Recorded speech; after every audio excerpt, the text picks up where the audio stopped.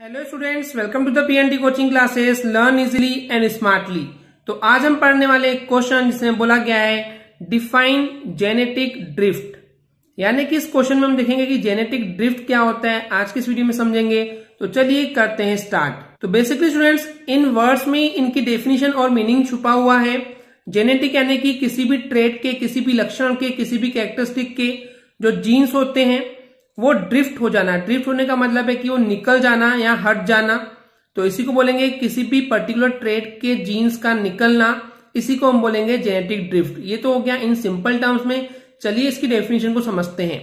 सो वही लिखा हुआ है यहाँ पे कि किसी भी एक स्पेसीज के पॉपुलेशन में, यानी किसी भी एक स्पेसीज के इंडिविजुअल से किसी भी एक पर्टिकुलर ट्रेड सर्टेन यानी कि फिक्स या किसी खास ट्रेड या किसी खास लक्षण या किसी खास कैरेक्टरिस्टिक की बात करते हैं तो उस फिक्स ट्रेड के अगर कोई जीन्स का एलिमिनेशन हो जाता है एलिमिनेशन बोलने का मतलब है कि वो जीन्स जो है वो रिमूव हो जाता है, निकल जाता है।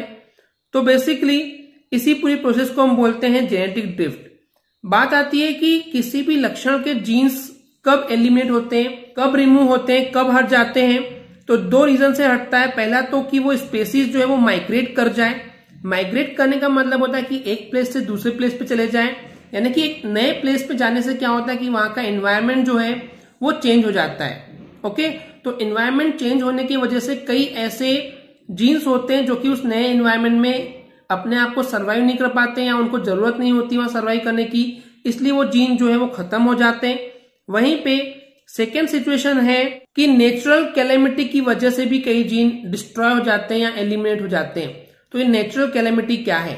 नेचुरल कैलेमिटी को हम नेचुरल डिजास्टर बोल सकते हैं, जैसे हवा, तूफ़ान या सुनामी वगैरह आ गई तो इस तरीके से कई नेचुरल डिजास्टर की वजह से भी कई बार कई ट्रेड के जो जीन्स हैं वो एलिमिनेट हो जाते हैं। तो इसी को बोला गया है जेनेटिक ड्रिफ्ट तो वही यहाँ पे लिखा हुआ चलिए एक बार समरी में फिर से समझते हैं कि किसी भी एक स्पेसीज के पॉपुलेशन में एक सर्टेन ट्रेड कोई भी फिक्स ट्रेड का जो जीन है एलिमेंट हो जाता है, वो भी तब जब वो स्पेसीज जो है वो माइग्रेट करती है, एक प्लेस से दूसरे प्लेस पे चले जाती है या फिर नेचुरल कैलेमिटी की वजह से वो डाई हो जाते हैं, मर जाते हैं।